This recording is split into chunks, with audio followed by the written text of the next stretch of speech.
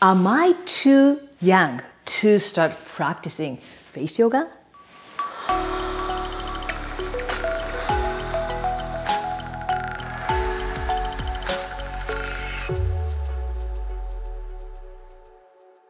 Well, first, before I answer this question, let's define age. Age is just number, and age, like time, is relative. It is only a number that has whatever meaning we assign to it. If you are over 50 years old, like me, 40 years old is young. And if you are still 20 years old, 40 years old is old. And if you are 102 years old, like my neighbor Fran, 80 years old is young. Second, let's think about this body exercise. Have you ever heard that you are too young to exercise your body? Oh, you are 23 years old. Do not move your body. Just do nothing because you are too young to exercise your body. Do you think you should wait until you start seeing some issues in your body, like tightness, frozen shoulders, then start exercises? No!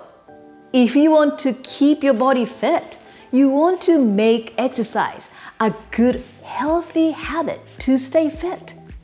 This applies to the face exercises. When you're young, of course, depends on how you define age. You can prevent bad habits, aging habits, which can cause premature aging if you do not stop these bad habits.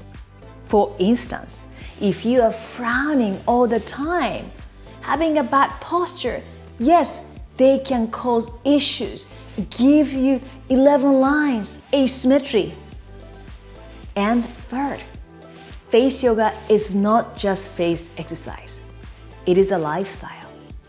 It is a mindset, holistic approach to who you really are.